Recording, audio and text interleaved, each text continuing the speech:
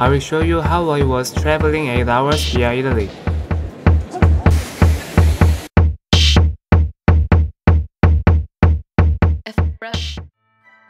I went through Italy because there are no direct flights coming to Korea in Malta.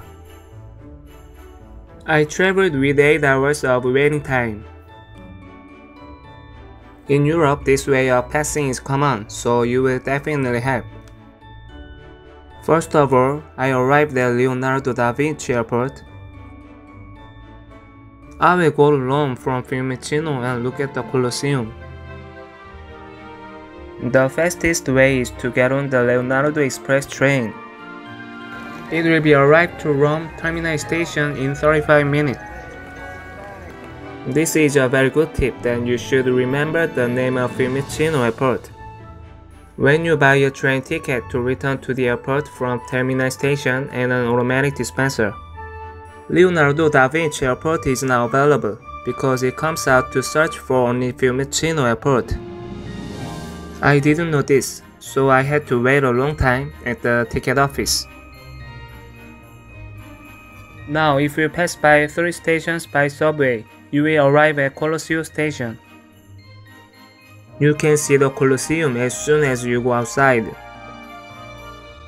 Everything goes better on a full stomach. I had to eat pasta because here is Italy. I start on the Colosseum on foot and pass by Foro Romano and the Altar della Patria to the Venezia Square. Then I go to the Pantheon and final destination is the Trevi Fountain and come back to Colosseum Station again.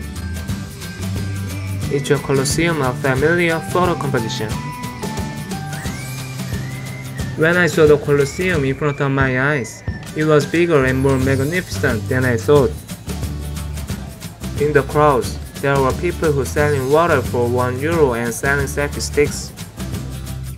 Next to it is the Arch of Constantine. On the other side is the Palatine Hill. There is an integration ticket to go to the Colosseum, the Palatine Hill, and the Foro Romano.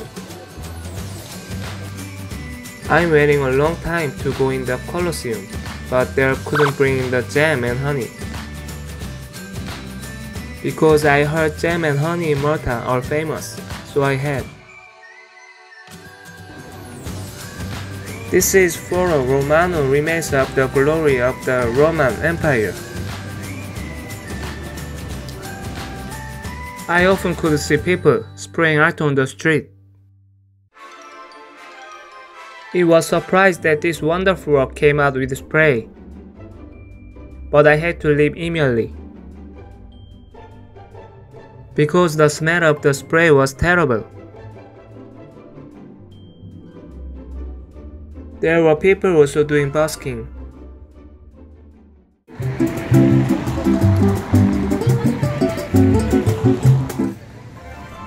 I could see also a funny person wearing a transparent mask, so I took a picture. Oh my god, he asked me to pay. The Foro Romano means the Roman square. It was buried in the soil for centuries and excavated after the 19th century. But it was buried in the soil for so long, the damage to the relief of the building was intense. As long as it is historically worthwhile, I could see the spirit of Romans who treasure even a small stone.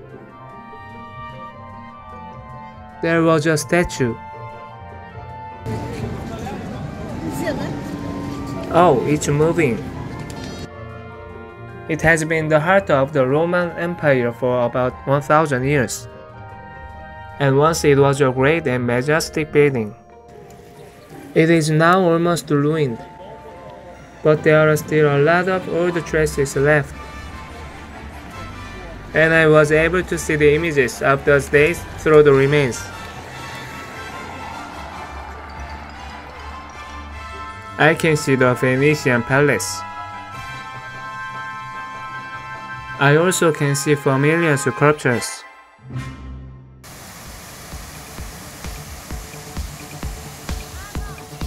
It's Vittorio Emanuele II Monument.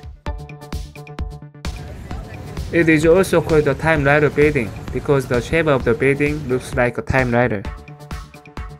Finally, it's Venetia Square. The Venetia Square is located in the heart of Rome, also known as the Belly of Rome. The Venetian Palace is famous for being used as the office of dictator Mussolini during World War II. The Vittorio Emanuele II monument was built in 1911 to honor Vittorio Emanuele II, the first king of unified Italy.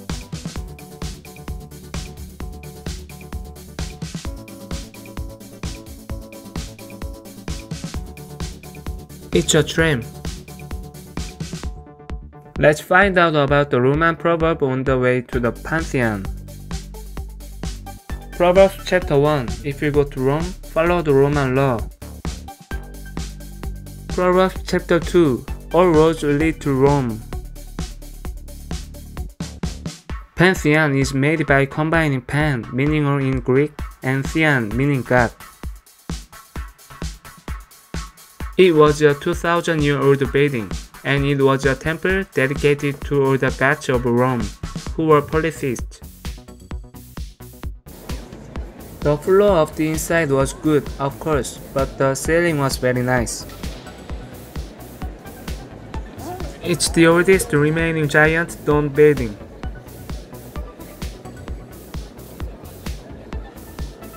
There is an obelisk in front of the Pantheon. The Trevi Fountain is the largest fountain in Rome. There is a tradition of believing that if you throw a coin in this fountain, you will make a wish or then you will come back to Rome someday. If you throw three coins in your right hand and over your left shoulder, there is also a story of good luck coming. It was offered that this place has the terrible smell of cigarettes. On the way back to the Colosseo station, I kept my eyes on a nice building. It was a short time, but the attractions such as the Colosseum, the Venetia Square, the Pantheon, and the Fountain was close by, so I was able to sightsee a lot on foot. Now take the subway to Terminal Station, search for Fiumicino Airport with an automatic dispenser, and issue the ticket. Then return to the airport and you will end up traveling for 8 hours via Italy.